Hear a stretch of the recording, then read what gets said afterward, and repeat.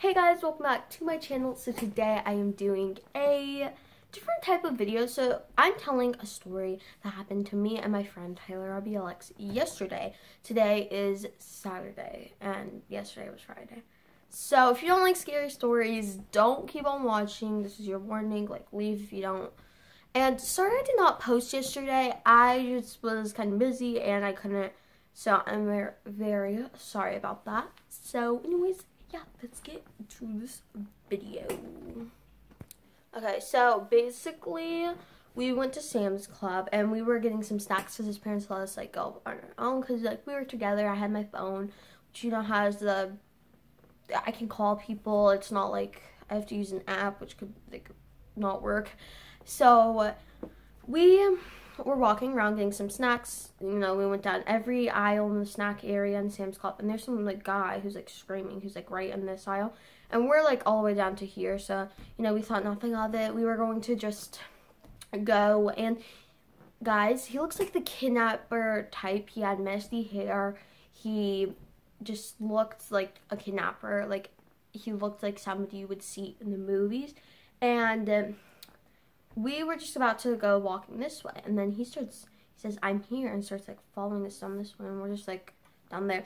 And we went to, we went this way, and then we walked down that way, and we were, so we were about to call his mom and ask where they were, so we called and she did not answer. We walked down the frozen aisles, and there were a bunch of employees over there and we're next to the water bottles, which is next to the snack aisle, kind of. So we're like right here, and he's like right here, and he's like looking around trying to like, find us or whatever. And me and Tyler just drop our stuff. We literally put it on the water bottles, and we keep on walking.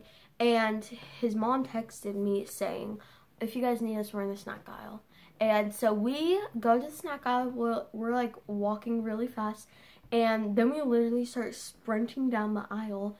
And they're like, do you guys get any snacks? And we're like, yeah. Like, and then we told them what happened. And then we showed them where the snacks were. And that was really scary. And also we went to Five Below that day. Well, yesterday, I guess. And we got some lights because we're working on his clubhouse. And yeah, so I went in my, I got this box.